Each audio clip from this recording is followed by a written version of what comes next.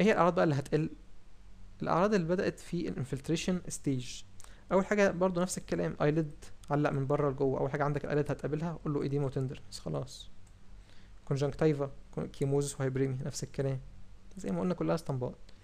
هنيجي عند ال discharge قلنا هناك ال discharge من اسمه آه كان mucopurulent عشان كده قلنا هناك. هنا ال discharge هيبقى watery بشكل أساسي.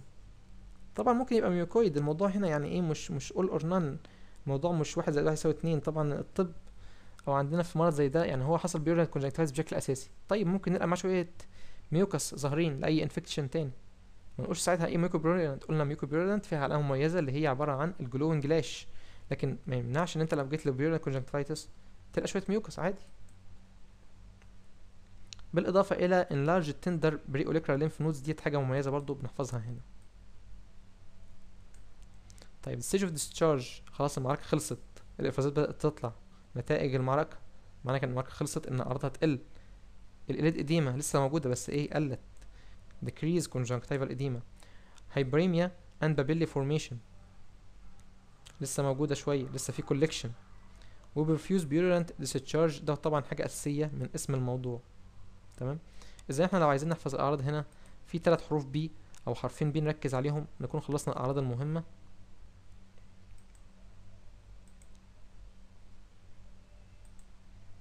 نحفظ ال enlarged pre-auricular حرف ال P ده وال papillae formation وال purulent discharge. دي كده العلامات المميزة في هذا المرض وما ننساش إن هو اتنين stages يعني لو جاي في الامتحان ما تكتبلوش الكلام على طول كده لأ stage و stage بعد كده عندك تلاتة P واحدة منهم في ال infiltration أهي enlarged tender pre-auricular والباقي يتألف مفيهوش حاجة. ال eyelid عرفناها conjunctiva عرفناها discharge من من العنوان. stage of discharge فيها اتنين P مميزين. papillae formation وعرفنا ال papillae يعني إيه؟ وميزناها عن ال follicle نرجع لأول ال chapter أو المقدمة اللي شرحناها من شوية. وال profuse purulent discharge. طبعا هنا حتى ممكن نزود كمان P profuse إن هو بيبقى جامد قوي. تمام؟ اذا خلصنا clinical picture بتاعه ال purulent conjunctivitis نعمل كده مراجعة سريعة بينها وبين ال mucopurulent ال mucopurulent نفس الكلام لكن كلمة واحدة مميزة اللي هي ال gluing lashes هنا هنقسمها two stages ونفس الكلام اللي قلناه لكن في ال stage التانية بتقل. وعندنا تلاتة P وزعناهم P فوق أهي واتنين P تحت.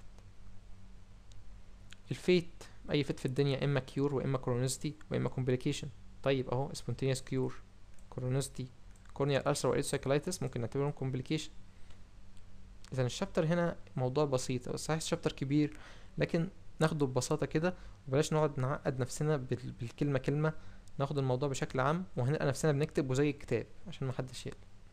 ال management نفس الكلام برضو. برضو good personal hygiene و protect eye مقلناش حاجة جديدة. وال prevention of purulent of neonatorum هنقولها بعد شوية لأن ال ophthalmia neonatorum بيكون موضوع مستقل.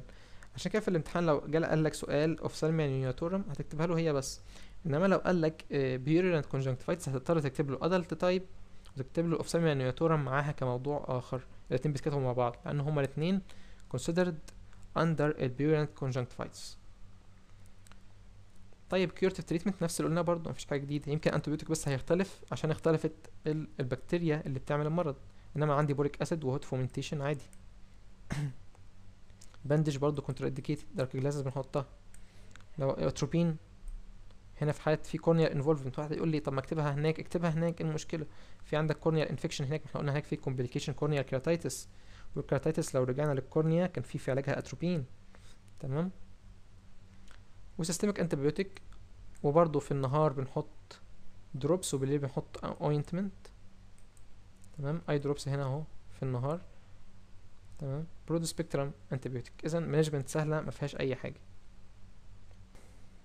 Ophthalmia neonatorum definition uh, any form of conjunctivitis occurring in first months of life.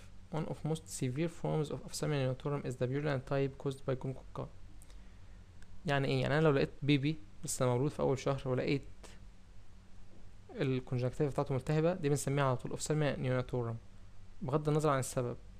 يعني كده كان دايما بنسميها ophthalmia neonatorum في عندنا سبب common مشهور اللي هو عبارة عن infection by ال gonococci عشان كده قلنا purulent conjunctivitis بتحصل عندي بنسبة كبيرة بال gonococci وبالذات في الأطفال. فال etiology بتاعتها هتبقى ممكن إيه infectious و non infectious محدش بقى يقول لي إيه non infectious إزاي؟ ده إحنا حاطينها تحت تصنيف قلنا لا إحنا هنا هنكبر دماغنا ونخلي تفكيرنا أوسع شوية.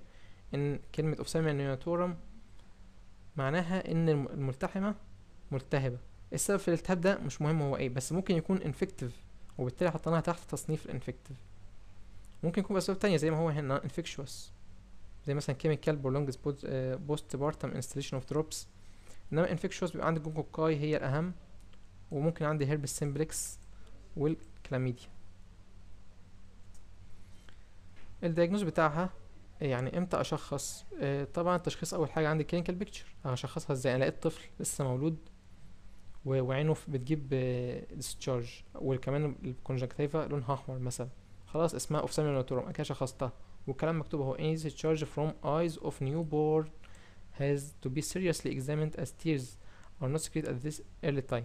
يعني بيقول لك إن أي discharge هتشوفه ما تقولش عليه آه، دموع. مفيش دموع بتنزل من الطفل وهو لسه في أول شهر. بيكون لسه ما اتكونتش.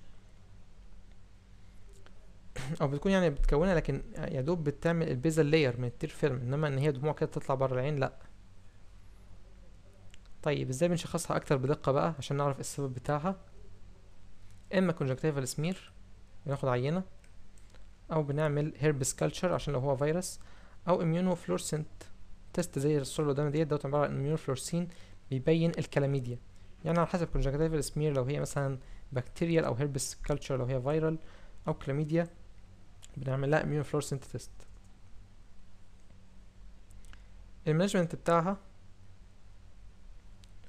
ال prevention هنا هيختلف شوية لأن إحنا عندنا إيه سبب ال infection ده الطفل لسه نازل فأكيد يعني مش هيكون مثلا إيه مش هيكون آه، فوطة يعني أكيد محدش هيستخدم فوطة يجيبها له أو مش هيكون combat flies صعب تلقى واحد لسه نازل لسه يعني جاتش مش هتيجي الدبانة تقف عليه أول ما اتولد مثلا يعني.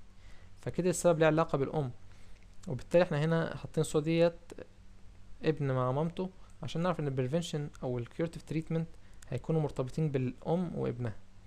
وبالتالي أول حاجة نقولها treatment of mother from herpetic cervicitis before delivery. آه، ممكن الأم يكون عندها herpes infection في ال cervix بتاع ال uterus. ف during ال labor أو إن الطفل بيعدي في ال birth canal ياخد ال infection في عينه وهو نازل. وبالتالي إحنا لازم نعالج حاجة زي دي موجودة في الأم. أول ما الطفل يتولد لازم نغسل وشه مباشرة from above downward. يعني إيه؟ يعني الطفل وهو نازل هو طبعا إحنا أول ما الطفل بيتولد الدكتور بيكون يعني متشال بالمنظر ده كده راسه لتحت في البداية خالص. طبعا لما تيجي تغسل تغسل له وشه ما تغسلوش بالمنظر ده. غلط. إحنا أول حاجة نغ- نغير ال position بتاعه نخليه مظبوط كده. وبعد كده إيه؟ نبدأ نغسل له وشه وجسمه. و penicillin or any other broad spectrum antibiotics eye drops used after birth and up to a week. يعني مجرد كنوع من ال preventive treatment للطفل عشان ما يجيلوش ال- المرض لأن هو طبعا في الأول بيكون الدموع لسه ما اتكونتش بكثرة وإحنا عارفين إن الدموع ليها defense mechanism بعد كده curative treatment لو هو طبعا جاله مرض يعني لقينا عنده discharge فخلاص هنعمل له إيه؟ frequent wash نفس الكلام اللي قلنا قبل كده برضه local antibiotic eye drops أو ointment و systemic antibiotic نفس الكلام. ولو حصل عندي corneal infection atropine و frequent wash. طبعا الكلام هنا نفس الكلام اللي قبل كده. مجرد نفتكر إن إحنا عندنا في ophthalmia neonatorum نزود الجزء بتاع البريفنشن ده مختلف شوية وبيكون مرتبط بالأم.